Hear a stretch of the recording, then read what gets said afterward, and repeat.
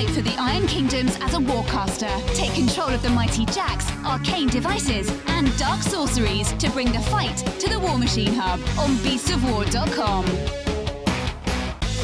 Greek mythology rages to life in Mythic Battles Pantheon. Become a god and command heroes and monsters in a battle for Olympus at beastsofwar.com.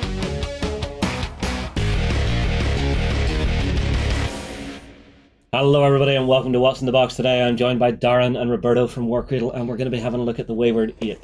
This is one of the most characterful sets from the entire range for me. I love the designs that you've done for them. So, we have the gorgeous artwork on the front of Marcus Wayward. On the back, we have a, a quick gander of 3D renders of all the miniatures. And then, now this is something I like that you guys do, is the actual box itself, once you actually take the slipcase off, has this beautiful wood effect. There's a real quality feel to that. It's nice. Yeah, it's just Very it's nice. little details like that that always catch me. So these, I believe, are ah, they're all plastic. They are indeed. Now we get this. What is this? So that's um, contact and information for us. So if you want to find out any more about what we're doing, it's got all our details on there. It's got the um, instructions. So you just follow the link on there and you can get the instruction guides for building all the models. And if you like to scan QR codes, there's a QR code to take you through as well. Lovely. Uh, we get the bases. We don't, we're not worried about those. We get our cards. You I'll do, give yeah. these to you. And we get our sprue. And oh, somebody's head popped off. This is how you know it's a good cast. Whenever you have a piece that actually pops off the sprue and you can't tell where it connected. that is very, very finely Yeah. plastic cast. Yep. Right. Uh, we will begin. So, uh, who do we have and where are they? So, ooh, here we go. So I'm seeing Flowing River and uh, where am I? See, there's so much packed into those sprues. There, Yeah, there really so- is. Flowing River, Marcus Wayward. Who is this for? Now, that to me looks like Sun Totem from here. Sun Totem? But I've not got my glasses on, so I could be wrong there. Yeah. So we've got the the legs. We've got uh, Jake Mattia's big Yeah, you, you can't miss his guns. Uh, we've actually got a ponytail. Yeah, once again, that's uh, part of Sun Totem, that one. Yep. Uh, moving on through, we have all the other legs and bits for the characters. Uh, it's a little hard to pick them out. I love the fact that Marcus Wayward gets a, a chest to Yeah. sit his foot Yeah. on Yeah. because you imagine he would have a you know a chest of booty sitting about somewhere. And just moving through, you have uh, K-Free's wrench, just all the components that you're going to need to put these guys together. And luckily enough, we have them all put together and painted by Darren. Right, who would we like to start You with? pick. You pick. All right. Well, uh, I'm going to open this up because these cards are a print set that come with it. So you can work with these straight out of the box, but if you want the fully up to date ones, you should go to the the Wild West Exodus Yeah, it's, it's always worth checking. Always worth checking because Yeah. it might just be a minor tweak to a stat, or, or you know, it may well be after more sort of feedback we've had from the community that Mm. Yeah. certain points values need to be tweaked. So it's well worth checking, but you can use them straight from the box with the cards you've got. well, I mean, like for your friendly games, rock on. Yeah. If you're going to like a tournament, go get them a download. Yeah, would be my check. advice. Give them a check. All right, so we have the Wayward Eight Theme Posse card, which we've we've talked about with Stu. So this is basically telling you what way you're going to actually build up your force. Yeah. And on the other side, we have the the faction posse for them as well. So this just tells you how you're going to build if you want to expand Yeah. beyond what rules you really need to follow. Yep. All right, uh, let's start with the man himself, Mr. Marcus Wayward. Okay, so he's So- a beast. Yeah. Uh, we do have a game of the Wayward Eight versus the Deadly Seven on its way. And uh, yeah, having him on the tabletop, you feel he has some insane presence to him. So yeah. weapons wise is really cool. He also has uh, one rule which I really really like playing with, which was the Treasure Hunter rule, Yeah, yeah, yeah. which gets you an extra Glory Guts card. Yeah, it gives you an extra adventure card. So um, which yeah, is just so handy sometimes. it is.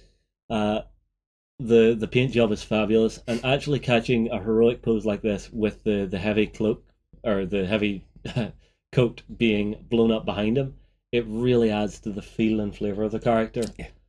Uh, Roberto, what were your think, thoughts whenever you were designing the Wayward Eight? Uh, well, I mean, the, obviously, um, looking at the, the, whole, the whole set, there are, there's a great variety, but um, and it, they're all very characterful. Mm.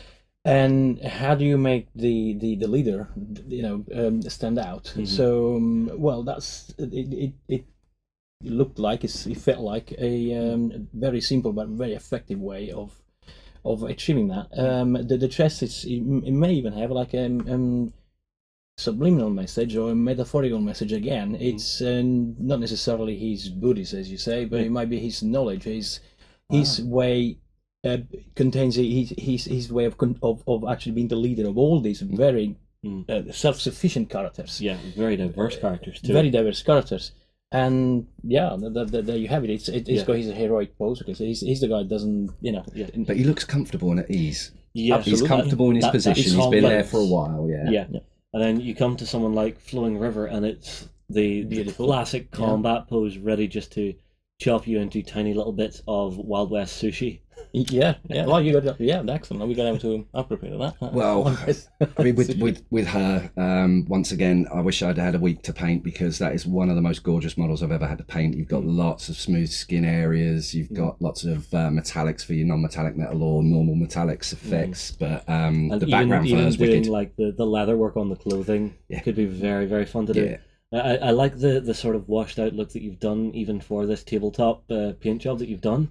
It just it makes her look a little bit less human, a little bit more ethereal. Yeah. Because she is an alien, which Yeah, is yeah, quite yeah. interesting. com- yeah. complements the, the, the flow that goes into throughout her her, her Mm. pose, her move as well, and, and how she will act on on a on, on a Oh, yeah. battlefield. Yeah. So that's yeah, no, totally well done. There. Yeah, we then have Hicks Kincade, which is a very soldierly business-like pose that he's been put into, and then the the flash of green. It he almost feels like a mechanic who has been forced into being a soldier. Yep. Which is such a nice thing to have within the the actual posse, and then we have his wife. Oh, I forget her first name.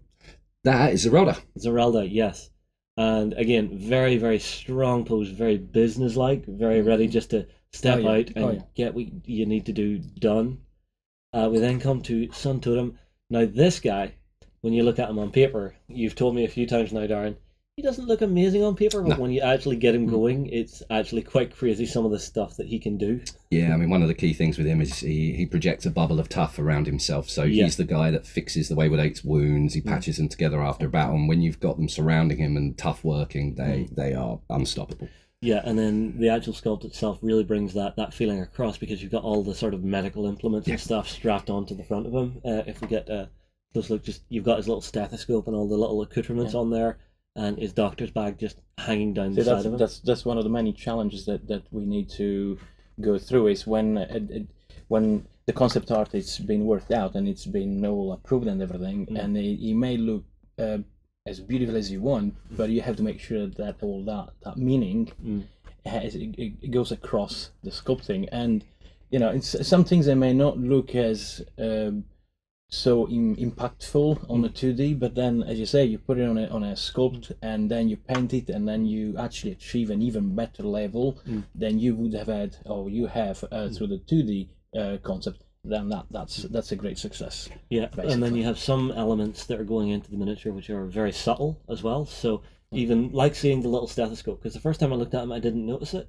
Yeah. And then when I look back, thinking, "Oh, he's a doctor," so I know he's a doctor. Oh, right, he's got this. See, that's one another thing is that it, each each character, I mean, it, it um it, has to tell a story. hmm and um, from from from brief to concept to sculpting to to, to manufacturing to painting when it, it, it's as you said it's like you had a, look, a second look at the character and you found out about certain certain things about him Yeah, and then those little So- those little details you you, you, you, learn, it's like you you learn Mm. it- every time you play every time you pick it up every time you and, and and you learn more more and more about that character and that and that, that that's depth to to Yeah. to you know to, to a different level Yeah. Now we then have the monster himself, Jake Yeah, Mattia. yeah. This man is basically ready to level the entire place around him. And the pose it is that come and have a go if you think you're hard enough pose with just really just a rock and roll. Like uh, any special rules on this guy that would really jump out at you, Darren?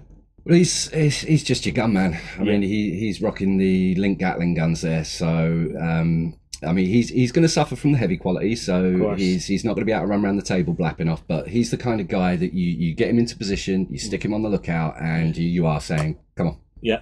I dare you, get closer." and then the, in the games, we will yeah, you, you'll see what happens. Yeah, we won't yeah. talk about that. no spoilers. no spoilers.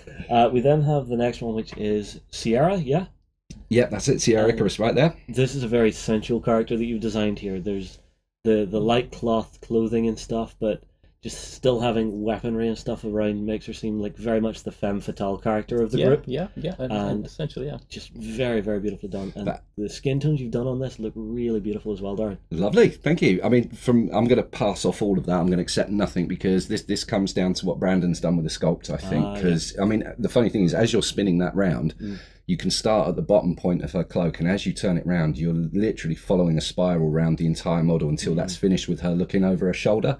So there's that whole sense of flowing movement. It's Mm. it's a beautiful figure to paint, really is. Yeah, well, th- this was the thing I was talking about with Roberto is that 3Dness going from the 2D is I can look at these miniatures from any angle and I'm, I'm still getting the sense of the, the feeling that's trying to be projected from the sculpt and that just makes me so happy. Uh, now, my last one is actually my favourite one. Yeah, And I'm sure everybody can guess why it's my favourite one. So we have K-Free and there's just something so joyous and barmy about this character. Yeah. Just the pose is very much at ease, but I am going to lump you on the head if you come near me. And Oh yeah, she- just because she's smiling doesn't mean she's going to be your friend. Then, so yeah, it's, well, no, she, she's she's going to smile and be very pleasant and yeah, polite yeah. While she knocks your teeth out. And, and fixes all your stuff. exactly, exactly. like I, I can imagine just uh, mounting the rest of the posse and her just standing there, just waiting very casually, just going, "God damn it, I just fixed Just this. fix that one. Yep. All right, I've got a spare, And spare, why spare handlebars. Here we go." yeah, But again, it's that that mechanic feel that's being drawn into a combat situation. It feels like a very dysfunctional sort of family group that's just being brought together and are now going, well, we can make money together. Let's do this. uh, overall, beautiful sculpts, beautiful paintwork. Uh, this set in particular may disappear from the office. I may have a go at building these because uh, one thing I've noticed with the way you guys actually do the, the breakdown of miniatures to actually put them together is a very organic way. So it's it's one of the two choices you have whenever you're doing a sculpt. You either make it very static, very modular, and throw in dynamism where you can with different post arms and things to go into that modular system, or you go the whole hog and make them as dynamic as possible, make them as heroic as possible. Yeah. And yeah, the the miniatures from Wild West Ex- Wild West Exodus, the plastics, are some of the finest in the industry that I've ever put together. That's high praise. That is high praise. Well, consider how many miniatures go through my hands. Yeah, that's high praise indeed. absolutely. yeah. All right, well, gentlemen, thank you very much for coming in. Uh, Pleasure. Tell you what, everybody, get your comments in below. Is the Wayward 8 the posse for you? We will move on. We will see you again very soon. Go ahead and check out our other content on screen now, and be sure to check out beastsofwar.com for the latest gaming news and gaming let's plays. And while you're at it, why not hit subscribe and remember to ding our dong. Go on, you know you want to click it. Go on.